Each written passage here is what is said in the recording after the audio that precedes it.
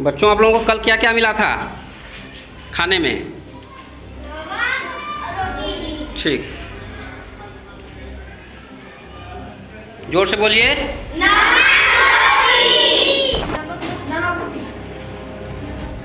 नमक रोटी पाला इस विद्यालय के टीचर सब्ज़ी का पैसा खाकर बच्चों को नमक रोटी खिला रहे हैं। कंटिन्यू नमक रोटी। यहाँ का प्रधान और टीचर और फल में भी कच्चा केला मिला था, पका हुआ वो भी नहीं।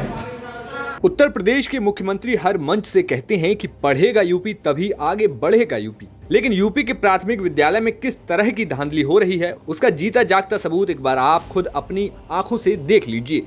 शिक्षा के साथ साथ भोजन देने के लिए सरकार करोड़ों अरबों रुपए खर्च कर रही है, लेकिन बच्चों की किस्मत में लिखा है तो बस नमक रोटी। ताज़ा मामला सामने आया है सोनभद्र के कंपोजिट विद्यालय गुरेट से, जहाँ के प्राथमिक और उच्च माध्यमिक विद्यालय के बच्चों को मिड डे मील में नमक रोटी और नमक भात परोसा जाता है।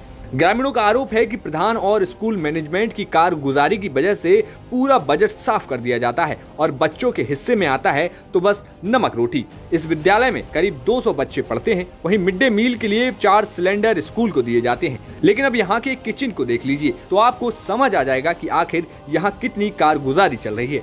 हालाँकि स्कूल प्रशासन की ऐसी हालत देखने के बाद इलाके के लोग परेशान हो गए और खुद ही स्कूल मैनेजमेंट को सबक सिखाने की ठानी। गाँव के ही कुछ युवकों ने स्कूल की हालत पर वीडियो बनाया और सोशल मीडिया पर वायरल कर दिया।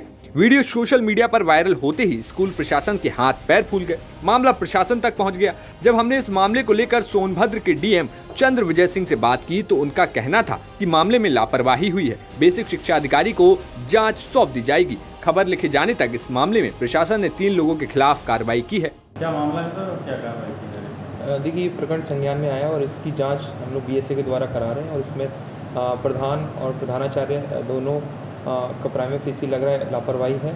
तो उसमें जाँच के उपरांत इन- जो भी दोषी होगा उस पर हम लोग कार्रवाई कर रहे हैं। सर अक्सर देखा जा रहा है कि मिड डे मील में। जगह जगह कुछ गड़बड़ियाँ हैं। तो इसको लेकर क्या कर- कार्रवाई? देखिए हमारी जो टास्क फोर्स है जितने भी इंस्पेक्शन हम लोग जिला स्तरीय अधिकारियों से भी कराते हैं तो उसके माध्यम से मिड डे मील की गुणवत्ता चेक कराई जाती है और ये सुनिश्चित करने का प्रयास किया जाता है कि किसी तरह का कोई गुणवत्ता में कमी ना रहे और उसके बावजूद भी अगर कहीं पे कमी है तो फिर उस हिसाब से हम लोग कार्रवाई करते हैं। क्योंकि सर देखा जाता है कि मतलब जगह जगह मतलब जो मेन्यू के अनुसार नहीं बनता है जी। भी दे देते हैं टाइमिंग नहीं रहती है। जी। मिड डे मील को लेकर काफ़ी सेंसिटिव सरकार तो है, लेकिन जो है निचले स्तर पर जिस तरह से लोग इसको मनमानी तरीके से चलाते हैं, अपने मोनोपोली बना लिए।